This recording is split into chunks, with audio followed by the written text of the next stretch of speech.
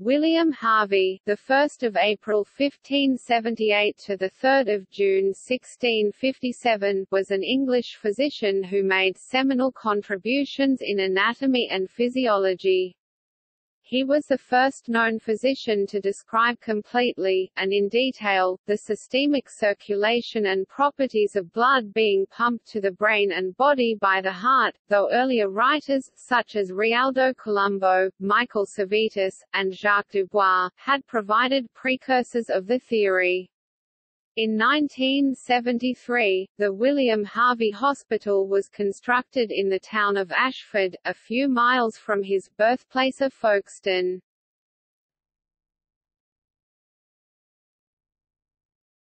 Topic: Family. William's father, Thomas Harvey, was a jurat of Folkestone where he served as mayor in 1600. Records and personal descriptions delineate him as an overall calm, diligent, and intelligent man whose sons revered, consulted and implicitly trusted in him. They made their father the treasurer of their wealth when they acquired great estates. He kept, employed, and improved their gainings to their great advantage. Thomas Harvey's portrait can still be seen in the central panel of a wall of the dining room at Rolls Park, Chigwell, in Essex. William was the eldest of nine children, seven sons and two daughters, of Thomas and his wife Joan Hawker. Notable family connections include Heneage Finch, 1st Earl of Nottingham, who married William's niece Elizabeth Harvey, and the diplomat Sir Daniel Harvey.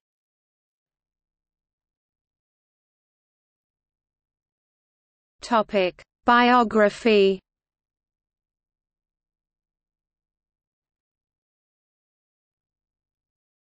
Topic: Early life and the University of Padua.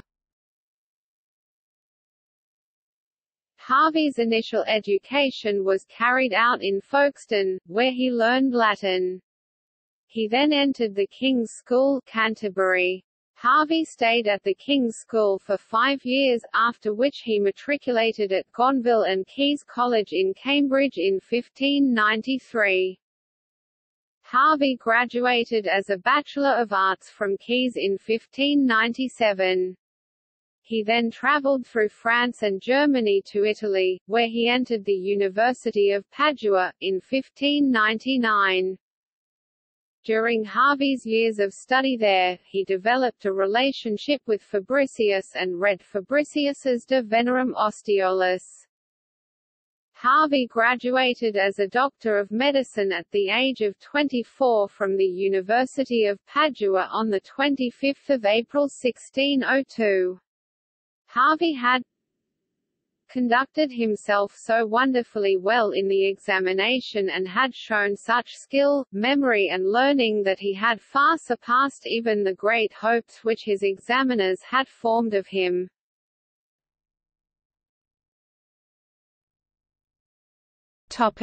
The College of Physicians, Marriage and St Bartholomew's Hospital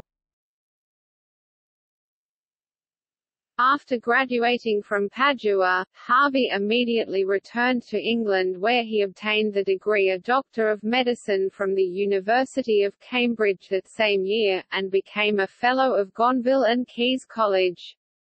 Following this, Harvey established himself in London, joining the Royal College of Physicians on 5 October 1604. A few weeks after his admission, Harvey married Elizabeth Brown, daughter of Lancelot Brown Drive Physic, a medical doctor. They had no children. Harvey was elected a Fellow of the Royal College of Physicians on 5 June 1607, which earned him the post-nominal letters FRCP. He then accepted a position at St. Bartholomew's Hospital that he was to occupy for almost all the rest of his life. Succeeding Dr. Wilkinson on 14 October 1609, he became the physician in charge at St. Bartholomew's Hospital, which enjoined him, in God's most holy name, to endeavor yourself to do the best of your knowledge in the profession of physic to the poor then present, or any other of the poor at any time of the week which shall be sent home unto you by the hospitaller. You shall not, for favor, lucre or gain, appoint or write anything for the poor but such good and wholesome things as you shall think with your best advice will do the poor good, without any affection or respect to be had to the apothecary. And you shall take no gift or reward for your counsel,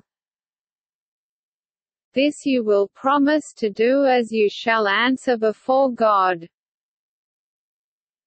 Harvey earned around £33 a year and lived in a small house in Ludgate, although two houses in West Smithfield were attached as fringe benefits to the post of physician.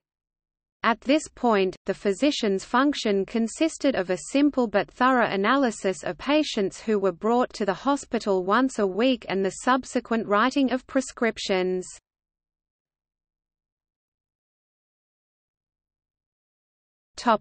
Lumleian lecturer The next important phase of Harvey's life began with his appointment to the office of Lumleian Lecturer on 4 August 1615. The Lumleian Lectureship, founded by Lord Lumley and Dr. Richard Caldwell in 1582, consisted in giving lectures for a period of seven years, with the purpose of «spreading light» and increasing the general knowledge of anatomy throughout England. Harvey began his lectures in April 1616. At this time, at the age of 37, he was described as a man of lowest stature, round-faced, his eyes small, round, very black and full of spirit, his hair as black as a raven and curling. The notes which he used at the time are preserved in the British Museum. At the beginning of his lectures, Harvey laid down the canons for his guidance to show as much as may be at a glance, the whole belly for instance, and afterwards to subdivide the parts according to their positions and relations.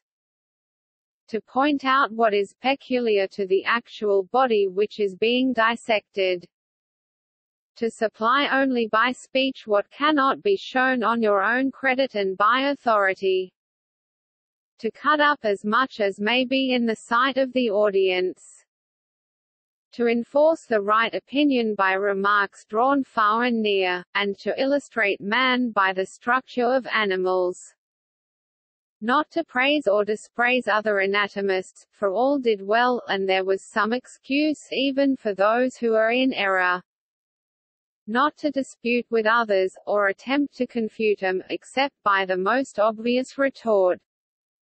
To state things briefly and plainly, yet not letting anything pass unmentioned which can be seen. Not to speak of anything which can be as well explained without the body or can be read at home not to enter into too much detail, or in two-minute dissection, for the time does not permit to serve three courses according to the glass i.e. allot a definite time to each part of the body. In the first day's lectures the abdomen, nasty yet recompensed by its infinite variety. In the second the pala, i.e. the thorax. In the third day's lecture the divine banquet of the brain.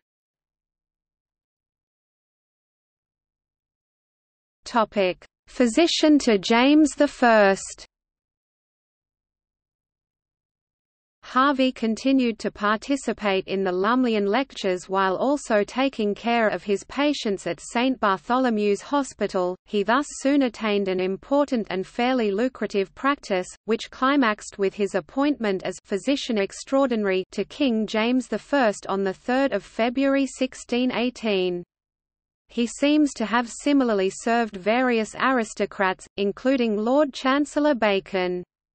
Bacon entirely failed to impress the more practical-minded Harvey, who refused to regard him as a great philosopher. He said of him, "...he writes philosophy like a Lord Chancellor." In 1628 he published in Frankfurt his completed treatise on the circulation of the blood, the De Motu Cordis. As a result of negative comments by other physicians Harvey fell mightily in his practice, but continued advancing his career. He was re-elected censor of the College of Physicians in 1629, having been elected for the first time in 1613 and the second time in 1625. Eventually, Harvey was also elected treasurer of the college. Topic: Witchcraft trials. Harvey was a prominent skeptic regarding allegations of witchcraft. He was one of the examiners of four women from Lancashire accused of witchcraft in 1634, and as a consequence of his report, all of them were acquitted. Earlier, in 1632, while travelling with the king to Newmarket, he had been sent to investigate a woman accused of being a witch. Initially he told her that he was a wizard and had come to discuss the craft with her, and asked whether she had a familiar. She put down a saucer of milk and called to a toad which came out and drank the milk.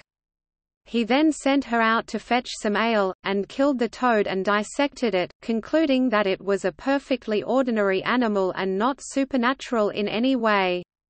When the woman returned she was naturally very angry and upset, but Harvey eventually silenced her by stating that he was the king's physician, sent to discover whether she were a witch, and if she were, to have her apprehended.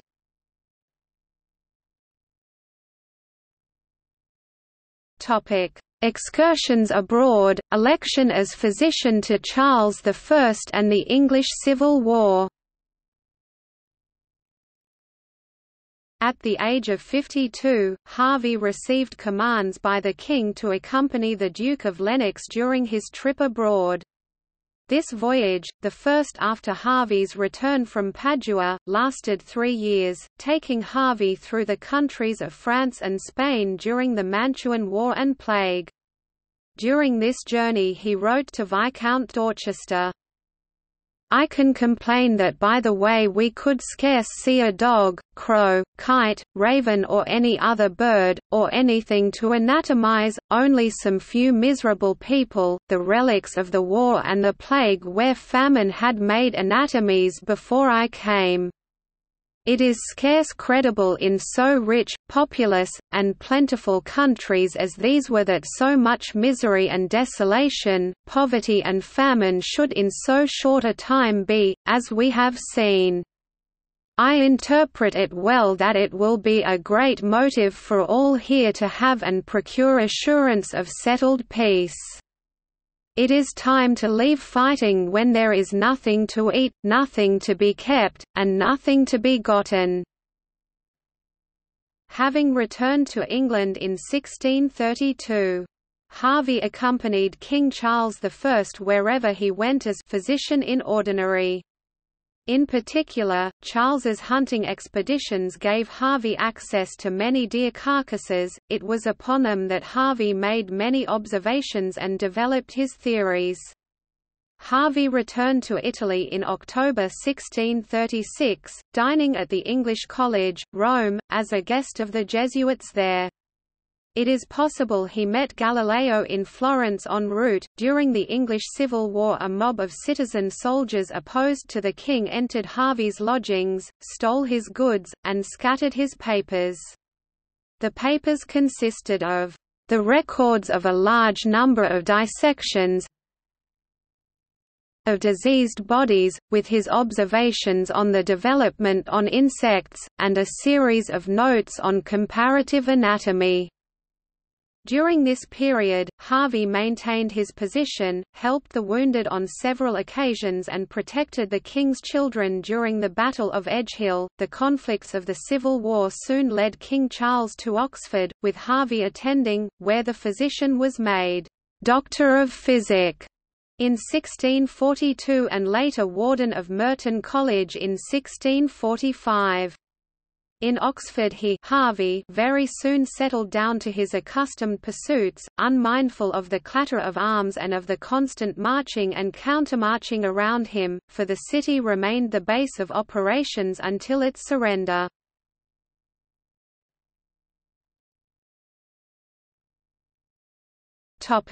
Harvey's later years, death and burial The surrender of Oxford in 1645 marks the beginning of Harvey's gradual retirement from public life and duties.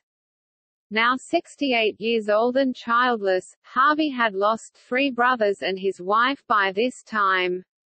He thus decided to return to London, and lived with his brothers Eliab and Daniel at different periods. Having retired from St. Bartholomew's Hospital and his various other aforementioned positions, he passed most of this time reading general literature. Several attempts to bring Harvey back into the working world were made, however, here is an excerpt of one of Harvey's answers. Would you be the man who should recommend me to quit the peaceful haven where I now pass my life and launch again upon the faithless sea? You know full well what a storm my former lucubrations raised.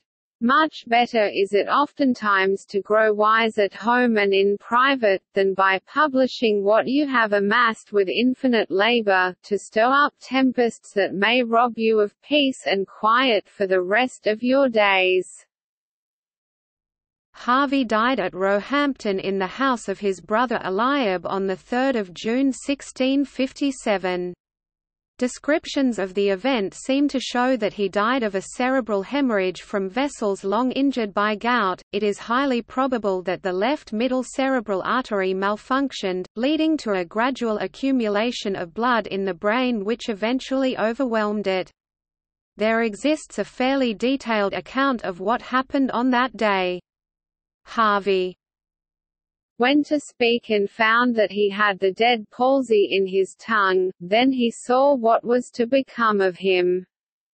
He knew there were then no hopes of his recovery, so presently he sends for his young nephews to come up to him. He then made signs, for seized with the dead palsy in his tongue he could not speak, to let him blood his tongue, which did him little or no good, and so ended his days, dying in the evening of the day on which he was stricken, the palsy giving him an easy passport.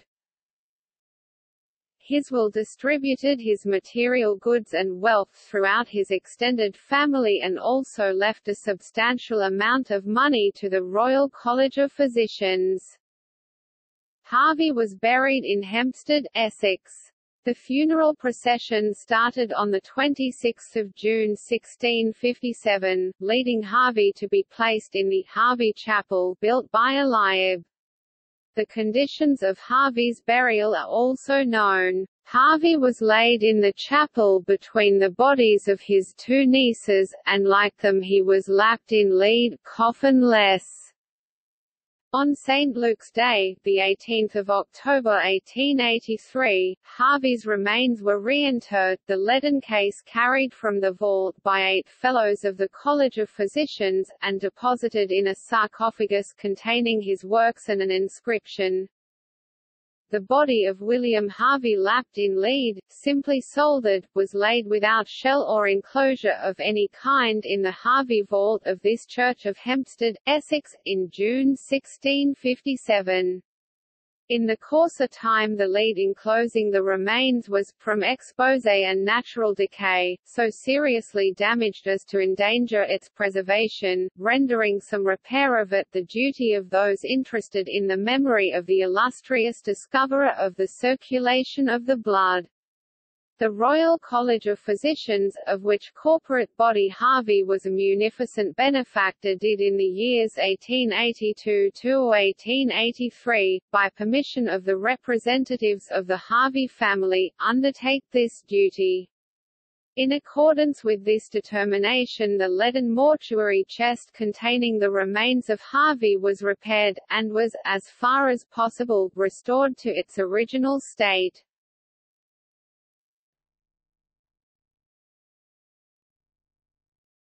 Topic: De motu cordis anatomical account of the motion of the heart and blood. Published in 1628 in the city of Frankfurt host to an annual book fair that Harvey knew would allow immediate dispersion of his work, the 72-page Exercitatio Anatomica de motu cordis et sanguinis in animalibus contains the mature account of the circulation of the blood. Opening with a dedication to King Charles I, the quarto has 17 chapters which give a clear and connected account of the action of the heart and the consequent movement of the blood around the body in a circuit. Having only a tiny lens at his disposal, Harvey was not able to reach the adequate pictures that were attained through such microscopes used by Antony van Leeuwenhoek, thus he had to resort to theory, and not practical evidence, in certain parts of his book. After the first chapter, which simply outlines past ideas and accepted rules regarding the heart and lungs, Harvey moves on to a fundamental premise to his treatise, stating that it was important to study the heart when it was active in order to truly comprehend its true movement, a task which even he found of great difficulty, as he says. I found the task so truly arduous, that I was almost tempted to think that the movement of the heart was only to be comprehended by God. For I could neither rightly perceive at first when the systole and when the diastole took place by reason of the rapidity of the movement. This initial thought led Harvey's ambition and assiduousness to a detailed analysis of the overall structure of the heart, studied with less hindrances in cold-blooded animals. After this, Harvey goes analyzes the arteries, showing how their pulsation depends upon the contraction of the left ventricle, while the contraction of the right ventricle propels its charge of blood into the pulmonary artery. Whilst doing this, the physician reiterates the fact that these two ventricles move together almost simultaneously and not independently as had been thought previously by his predecessors. This discovery was made while observing the heart of such animals as the eel and several other types of fish. Indeed, the general study of countless animals was of utmost importance to the physician. Among the ones already cited, one can add the study of the snail, the invisible shrimp, the chick before its hatching and even the pigeon. The digression to an experiment can be made to this note, using the inactive heart of a dead pigeon and placing upon it a finger wet with saliva, Harvey was able to witness a transitory and yet incontrovertible pulsation. He had just witnessed the heart's ability to recover from fatigue. As early as the 17th century, William Harvey had already discerned the existence of the ductus arteriosus and explained its relative function. Here he says, in embryos, whilst the lungs are in a state of inaction, performing no function, subject to no movement any more than if they had not been present, nature uses the two ventricles of the heart as if they formed but one for the transmission of the blood. However, the apex of Harvey's work is probably the eighth chapter, in which he deals with the actual quantity of blood passing through the heart from the veins to the arteries. Coming into conflict with Galen's accepted view of the liver as the origin of venous blood, Harvey estimated the capacity of the heart, how much blood is expelled through each pump of the heart, and the number of times the heart beats in a half an hour. All of these estimates were purposefully low, so that people could see the vast amount of blood Galen's theory required the liver to produce. He estimated that the capacity of the heart was 1. 5 imperial fluid ounces 43 milliliters, and that every time the heart pumps, one-eighth of that blood is expelled. This led to Harvey's estimate that about one-sixth imperial fluid ounce 4.7 milliliters of blood went through the heart every time it pumped. The next estimate he used was that the heart beats 1,000 times every half an hour, which gave 10 pounds 6 ounces of blood in a half an hour, and when this number was multiplied by 48 half hours in a day he realized that the liver would have to produce 498 pounds of blood in a day, more than the weight of the whole body. Having this simple but essential mathematical proportion at hand, which proved the overall impossible aforementioned role of the liver, Harvey went on to prove how the blood circulated in a circle by means of countless experiments initially done on serpents and fish, tying their veins and arteries in separate periods of time. Harvey noticed the modifications which occurred, indeed, as he tied the veins, the heart would become empty, while as he did the same to the the organ would swell up. This process was later performed on the human body in the image on the right, the physician tied a tight ligature onto the upper arm of a person. This would cut off blood flow from the arteries and the veins. When this was done, the arm below the ligature was cool and pale, while above the ligature it was warm and swollen. The ligature was loosened slightly, which allowed blood from the arteries to come into the arm, since arteries are deeper in the flesh than the veins. When this was done, the opposite effect was seen in the lower arm. It was now warm and swollen. The veins were also more visible, since now they were full of blood. Harvey then noticed little bumps in the veins, which he realized were the valves of the veins discovered by his teacher, Hieronymus Fabricius. Harvey tried to push blood in the vein down the arm, but to no avail. When he tried to push it up the arm, it moved quite easily. The same effect was seen in other veins of the body, except the veins in the neck. Those veins were different from the others, they did not allow blood to flow up, but only down.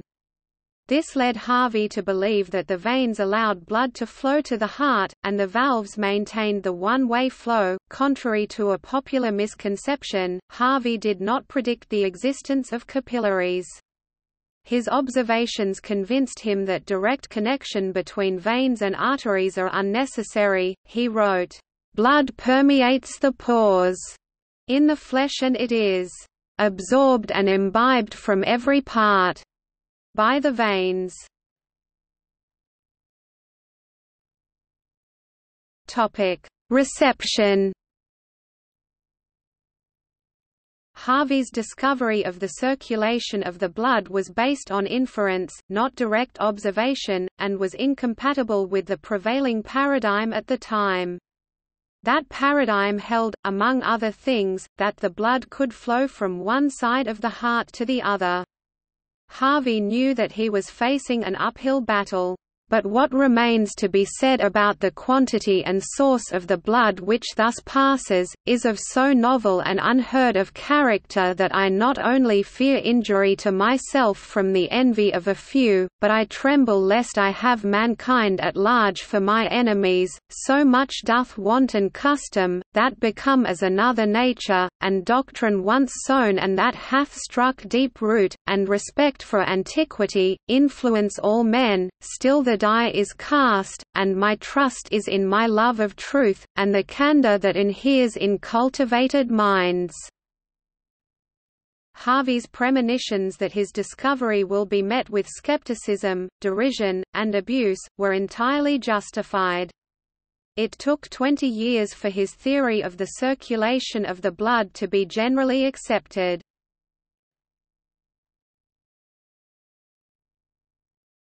Topic: Views of the circulation of blood before Harvey.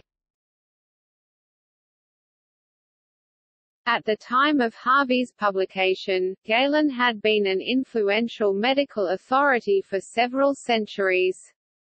Galen believed that blood passed between the ventricles by means of invisible pores.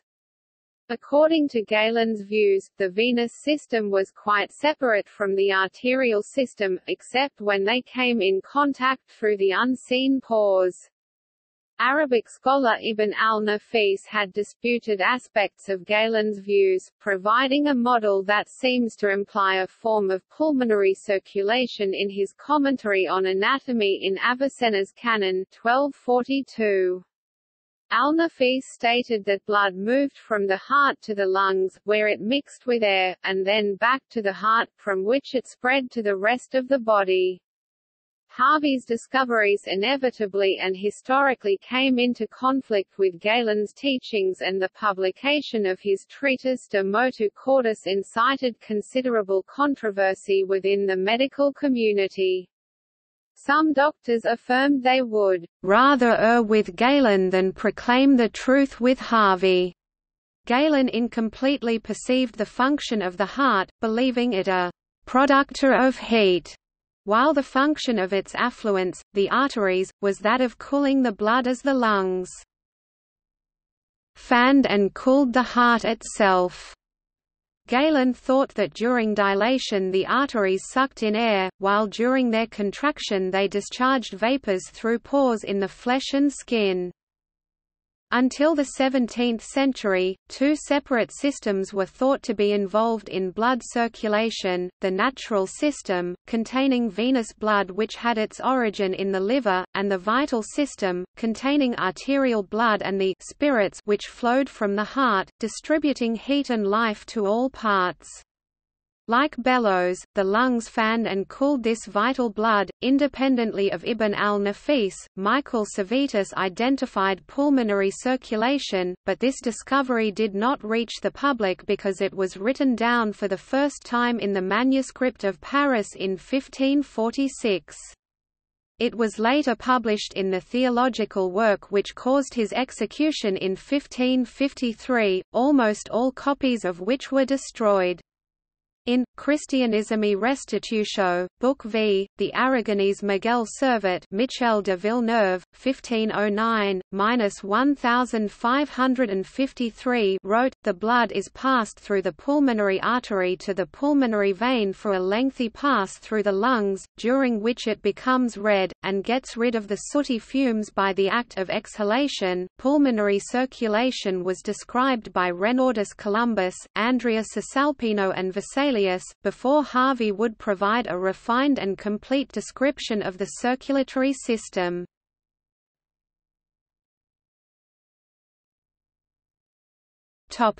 On animal generation Harvey's other major work was Exercitationes de Generatione Animalium on animal generation published in 1651. He had been working on it for many years but might never have finished it without the encouragement of his friend George Ent. The book starts with a description of development of the hen's egg. The major part is theoretical, dealing with Aristotle's theories and the work of the physicians following Galen and up to Fabricius. Finally he deals with embryogenesis in viviparous animals especially hinds and does. The treatment is generally Aristotelian and limited by use of a simple magnifying lens. Needham claims the following achievements for this work.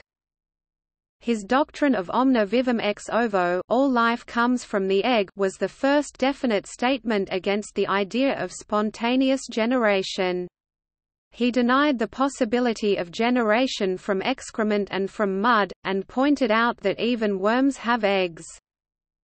He identified the cicatricula as the point in the yolk from which the embryo develops and the blastoderm surrounding the embryo. He destroyed once and for all the Aristotelian semen blood and Epicurean semen semen theories of early embryogeny. He settled the long controversy about which parts of the egg were nutritive and which was formative, by demonstrating the unreality of the distinction. Topic legacy A final allusion to the rules established and followed by the physician throughout his life can be made, that none be taken into the hospital but such as be curable, or but a certain number of such as are curable. That none lurk here for relief only or for slight causes. That the chirurgeons, in all difficult cases or where inward physic may be necessary, shall consult with the doctor, at the times he sitteth once in the week and then the surgeon himself relate to the doctor what he conceiveth of the cure and what he hath done therein that no chirurgeon or his man do trepan the head, pierce the body, dismember, or do any great operation on the body of any but with the approbation and the direction of the doctor. Arthur Schlesinger Jr. included William Harvey in a list of the ten most influential people of the second millennium in the World Almanac and Book of Facts. The main lecture theatre of the School of Clinical Medicine, University of Cambridge is named after William Harvey, who was an alumnus of the Institute, William Harvey Research Institute at Barts and the London School of Medicine and Dentistry is a research facility focusing on biochemical pharmacology, orthopedic diseases, endocrinology, genomics, clinical pharmacology and translational medicine and therapeutics. Harvey's whalebone demonstration rod, tipped with silver, resides in the Silver Room of the Museum of the Royal College of Physicians. He used it to point to objects during his lectures. William Harvey Hospital in Ashford, Kent is named after him. Harvey's hometown of Folkestone, Kent also has a statue of him. Eponymous medical societies internationally have used Harvey's name in order to honor their vision towards basic sciences. The Harveyan Society of London is a medical society founded in 1831 based in the Medical Society of London, Chandos Street, in Cavendish Square.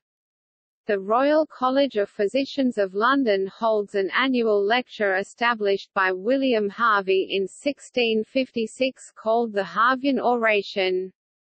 The The Harvey Club of London was founded in Canada in 1919 and is based in the University of Western Ontario. The Harvey Society, found in 1905, is based in New York City and hosts an annual lecture series on recent advances in biomedical sciences.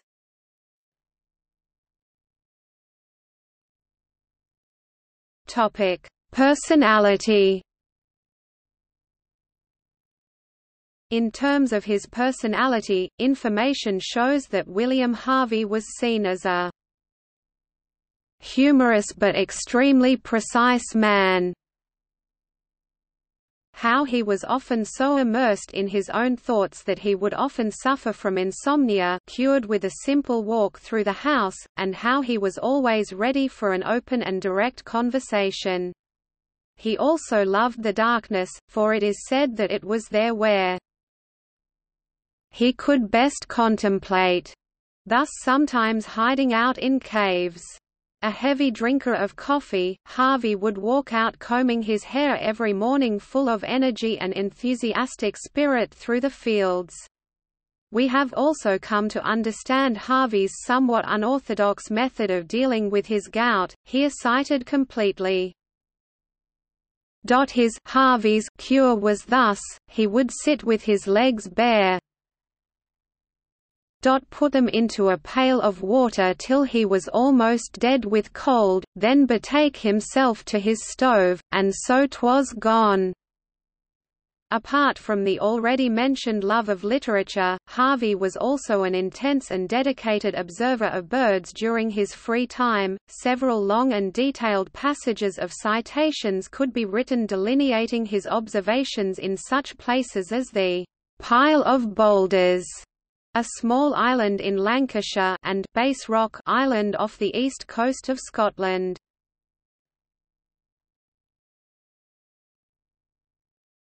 Topic Gallery.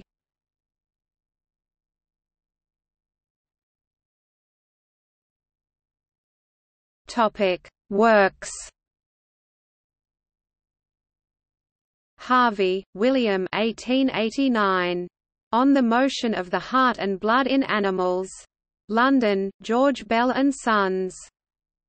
Harvey, William, Franklin, Kenneth J. Translator, Wear, Andrew Introduction 1993. The Circulation of the Blood and Other Writings. London, Everyman, Orion Publishing Group. ISBN 0-460-87362-8. The Works of William Harvey. Robert Willis. Translator. London, Sydenham Society. 1847, CS1 maint, others. Link. Includes An anatomical disquisition on the motion of the heart and blood in animals.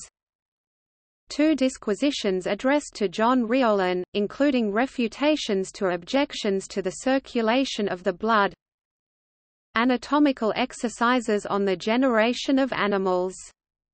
To which are added On parturition on the uterine membranes and humors On conception Anatomical examination of the body of Thomas Parr Letters Topic. See also Miguel Servet. Amato Lusitano, Portuguese 16th-century physician, also credited with the discovery of the circulation of the blood. Josephus Struthius. Scientific revolution. List of multiple discoveries